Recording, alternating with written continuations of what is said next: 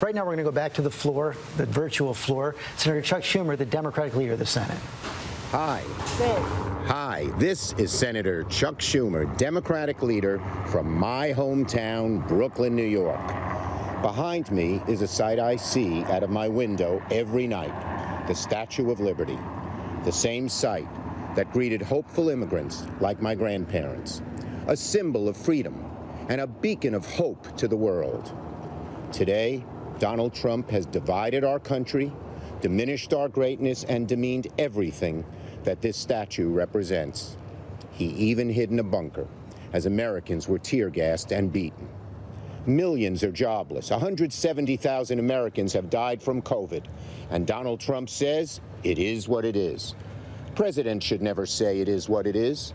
President Lincoln honoring the great sacrifice at Gettysburg didn't say it is what it is.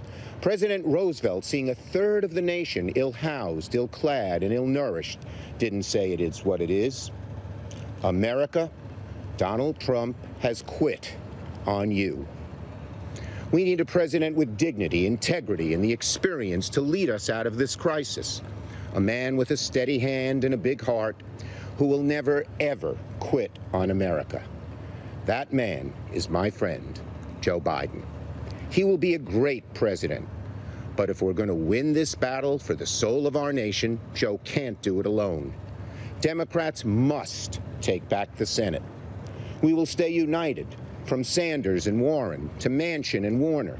And with our unity, we will bring bold and dramatic change to our country. Let me tell you some of the things we do with President Biden, Vice President Harris in a Democratic majority, we will make health care affordable for all. We'll undo the vicious inequality of income and wealth that has plagued America for far too long. And we'll take strong, decisive action to combat climate change and save the planet. We will protect voting rights, fight systemic racism in the criminal justice system and in our economy, and restore a Supreme Court that looks out for people, not corporations. We'll rebuild our infrastructure and make sure every home, from inner city to rural America, has broadband. We will save the post office and once and for all defeat COVID 19, this evil disease.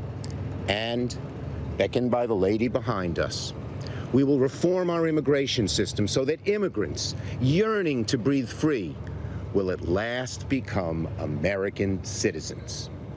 Together, we can reignite the hope once felt by millions of men and women, huddled masses on creaking ships, who glimpsed this mighty women, woman with her torch, knowing they could build a better life here in America. And out of this long national nightmare, America will finally awaken to a brighter future and a new day. Hi, everyone. George Stephanopoulos here. Thanks for checking out the ABC News YouTube channel. If you'd like to get more videos, show highlights, and watch live event coverage, click on the right over here to subscribe to our channel. And don't forget to download the ABC News app for breaking news alerts. Thanks for watching.